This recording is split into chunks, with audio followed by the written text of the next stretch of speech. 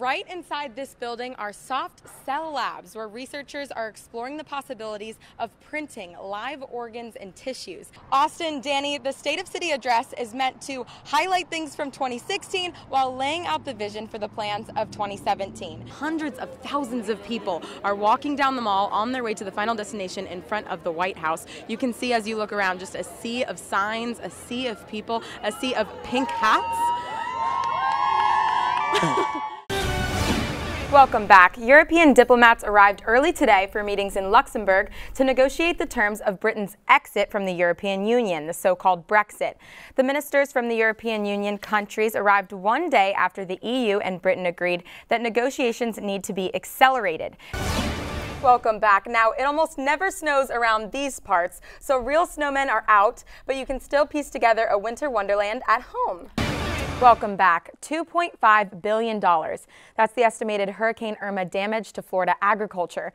One piece of the pie, 180 million in potential losses for fruit and vegetable farmers. Tacachale, the oldest and largest community for Floridians with developmental disabilities, spread Christmas cheer early this year. Their 33rd annual Christmas tree lighting ceremony is this Thursday at 6:45 p.m. However, festivities began early this morning for a holiday parade. WUFT's Mary Grace Scully went to the Tacachale Holiday Parade. What was the environment like? Ken McGurn and Rod Smith are walking away disappointed tonight after losing their respective elections.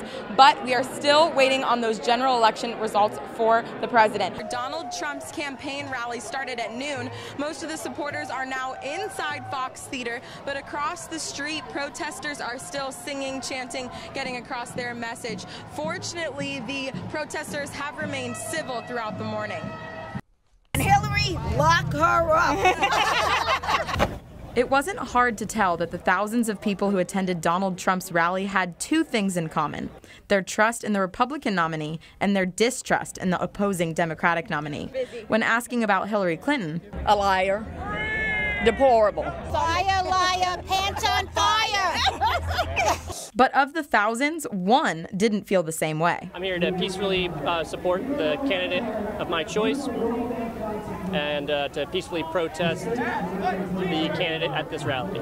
But most of the supporters today have faith that Trump will take the White House. I talked to an official who said there should be 11,000 people here today, which puts this venue over capacity by 4,000 people don't believe what the polls are saying because these Trump rallies are full of people that want a change. He made us believe in ourselves again. He made us feel as if we were we were real we were really who we are in this world. Many women were chanting "Women for Trump." So I asked how they felt about the comments Trump was heard saying about women this past weekend. That that was 11 years ago. Does not matter today. Anything he said, I've said four times as bad. Women's rights are under attack. What do we do? We fight back. Hazel Levy was one of the hundreds of thousands of people who took part in the Women's March on D.C. Everyone here is for one common goal, and that's equality for women's rights and equality for everyone. To make a statement to push forward an agenda that's good for the people of the United States. I mean, this is this is the future. We have to make it ours again. I'm marching for my kids. Just one day after Donald Trump was sworn in as America's 45th president, the marchers challenged his administration to respect the rights of women and minorities. To show solidarity with uh, all the other people for the causes here and to show my objection to our current president. There's two sides to every story.